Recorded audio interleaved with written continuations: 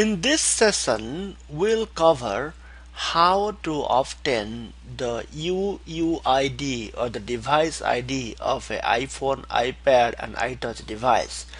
First of all, connect the iPhone device to the computer, then launch iTunes. And then on the left hand side, under the devices sector, you will see the phone or iPad or iTouch device that is actually connected to the computer.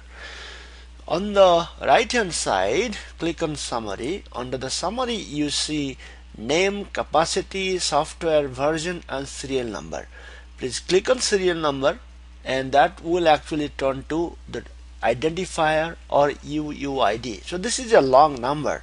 In order to copy this number, please click on edit and then copy. That will actually copy the long identifier into memory. Then you can actually paste it into any program you would like to.